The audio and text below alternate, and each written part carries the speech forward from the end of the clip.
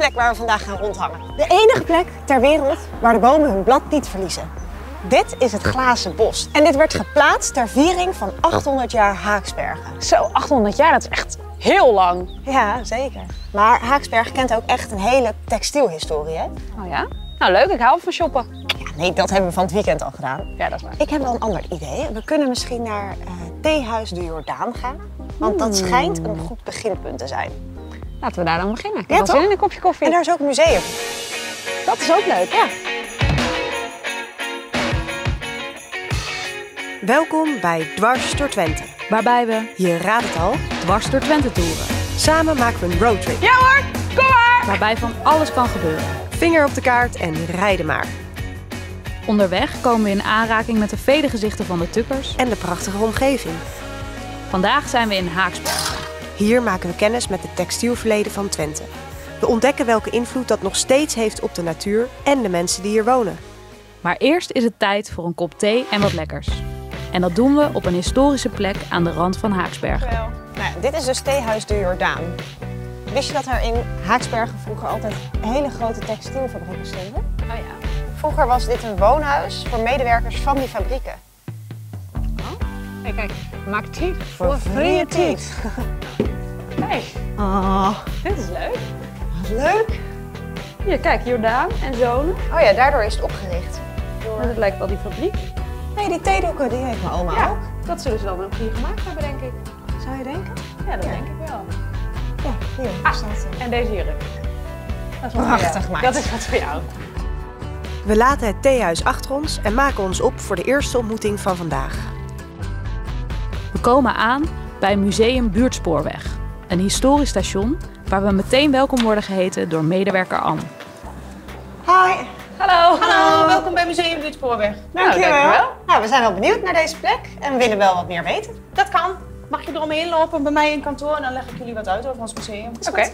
Hey. Ja, hi. Hi. Hallo, welkom. Ik ga jullie straks een rondleiding geven en ik laat jullie verschillende dingen zien.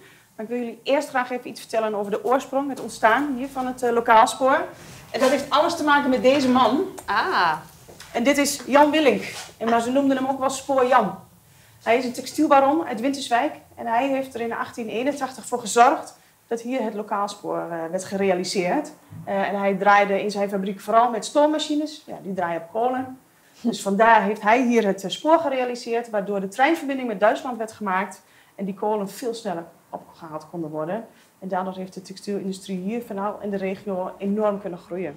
Hey, en eh, wat zie je vandaag de dag dan terug in, eh, ja, in het textielverleden van Twente? In de mensen die hier wonen? Eh, wat je nu eigenlijk nog een beetje terug kan zien, is aan de ene kant dat Twente zich nog steeds als eh, technologische regio eh, ontwikkelt. Eh, en qua mensen, ja, ik denk dat dat toen al was, maar dat is dus nu nog steeds zo. Het hele nuchtere, gewoon aanpakken. Ik zie een uitdaging, daar moet wat gebeuren en we gaan er niet te veel over discussiëren, we doen het gewoon. Wat kun je hier nou vandaag de dag nog doen in het museum? Oh, genoeg, genoeg. Wij zijn natuurlijk een museum. Op reguliere rijdagen kunnen bezoekers een rit maken in onze stoomtrein. Maar wat voor ons belangrijk is, is dat die geschiedenis hier bewaard blijft. Ja, en rijdt u vandaag ook of niet? Nee, de trein rijdt vandaag helaas Ah, niet. Ja, dat lijkt me zo leuk Maar kan namelijk. jullie wel eh, een plek laten zien waarbij je kunt ervaren wat het is om als machinist op de trein te staan. Nou, dat zou ik heel graag willen. Ik ben Ja? bezig met een uh, carrière switch namelijk. Kijk, dan beginnen we hier. Ja, Oké, nou, dan gaan vertel. we naar de locomotieve loods. Die kant. Maar voordat machinist Fieke daadwerkelijk de machinekamer mag betreden, moet ze natuurlijk wel de juiste kleding aan. Ja, die sowieso. Ja. Die is echt goed. Deze moet je ook nemen. Ja. Dit is toch grappig. Wow, dit is een mooi jasje. Nu staat je goed. Dank je. Die neem ik wel mee, want die hoort bij een conducteur. Oh. Jij wordt machinist worden. Ja, dat is waar. We gaan naar de locomotieve loods. Oké. Je mee? Ja. Daar ga je, meid. Ja, we staan hier nu in eh, de wachtkamer van ons museum. Hier hangt eh, de plaat van Enschede uit de eind 19e eeuw. Nou, dan kun je zien hoe groot of dat was in die tijd. eh, al die fabrieken, al die textielfabrieken. Nou, en op rijdagen eh, wordt dat aan onze bezoekers verteld door de heer Laponder. Die zie je hier. En dat was de laatste stationschef hier van station Haarsberg. En die heeft hier gewerkt en die boven ook gewoond. Oh, wat grappig. Ja, Oké. ja, we zijn hier in onze locomotievenloods. Zoals je ziet, allemaal locomotieven. Die worden hier gestald. Maar ze worden hier ook opgestookt voor de ritten. Nou, en hier had ik het over. Dit is onze alleroudste locomotief. Onze En hoe oud is T3. die dan? Komt uit 1896. Zal ik Dus, eh, eh, dit ik anders geef doen? die aan jou. Ja. Ik neem jou mee. Oké. Dan geef je een seintje, meid. Ja, is goed. Oh, leuk. Wow. Zo, dit is oud. Oh, maar fantastisch, joh. Ja. En dan... eh krijg- hey. Ja, Oké. komt u En maar. dan krijgen we een seintje. Ah, Joen, ja. Oké. Ja, maar een locomotief kan natuurlijk pas rijden eh, als we de goede brandstof hebben. Hè? Dus ik denk dat we even een beetje kolen moeten halen. Kolen halen. Oké, Ja. eh, laten we dat eerst doen. gaan we doen.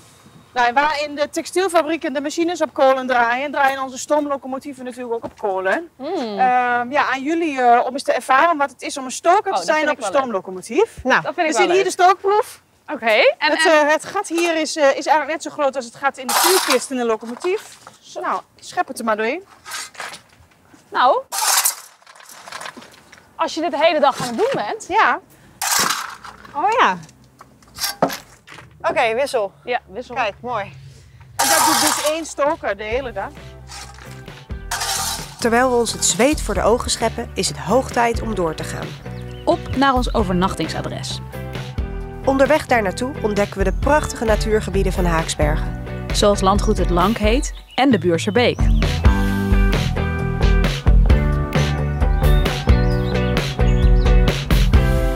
We komen aan bij Hotel de Watermullen. Op deze bijzondere plek worden we opgewacht door Marjolein. Zij is de eigenaresse van dit hotel en kan ons meer vertellen over de natuur in Haaksbergen. Dat is mooi.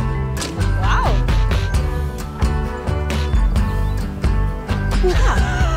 Heb jij nou nog steeds je machinistpak aan? Tuurlijk. Eens een machinist, altijd een machinist. Hi. Hi, Hallo, goedemiddag. Ik ben Marjolein. Juna, hi. Hi. Welkom bij eh, Hotel de Watermullen in Haaksbergen. Dankjewel. Dankjewel. Ja. En waar staat die mooie naam voor? Eh, ja, die verwijst natuurlijk naar de eeuwenoude watermolen. eh, direct tegenover eh, het hotel. Oh, en weet je ook hoe oud die is? Ja, de watermolen stamt uit 1548. Zo. Het is dan ook een, een monument. En hier in de omgeving is heel veel natuur. Ja, er is hier heel veel natuurgebied. Het is een en al bos en water. En dichtbij is ook het Buurse Veen, het Lankheet. Nou, je kunt hier prachtig wandelen, maar je kunt ook echt hele mooie fietstochten doen. Zo is er een mooie fietstocht door alle drie de natuurgebieden die een eh, raakvlak hebben met het eh, textielverleden. Dan beginnen jullie hier natuurlijk bij de Buurse Beek. Daarna zouden jullie door kunnen fietsen naar het Buurse Zand. Het is ook echt een prachtige omgeving. Het is van oorsprong een eh, gebied opgekocht door eh, textielbaron Van Heek. Die wilde daarmee zorgen dat zijn medewerkers konden recreëren. Was gezond voor hun.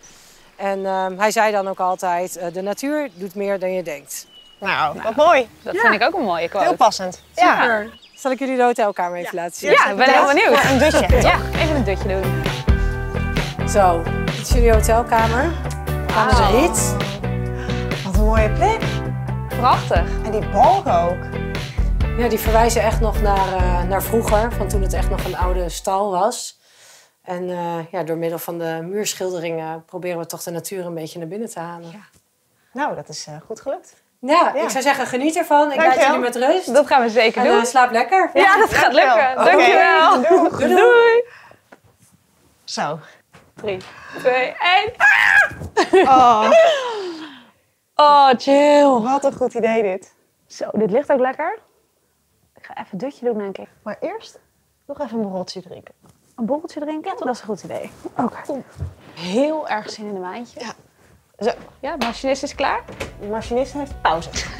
En zo zijn we alweer aan het einde van onze reis door Haaksbergen. Wat hebben we veel geleerd vandaag over de rijke historie De ondernemende tukkers. en de schitterende natuur. Maar voordat de dag echt voorbij is, sluiten we af met een welverdiende borrel. Zo, wat een dag. Nou, inderdaad. Oh, lekker. Heerlijk. Oh, ik vind Haaksbergen zo mooi. Ja, het is echt prachtig hier, hè? Ja. Kijk nou, wat een uitzicht. Hmm, lekker.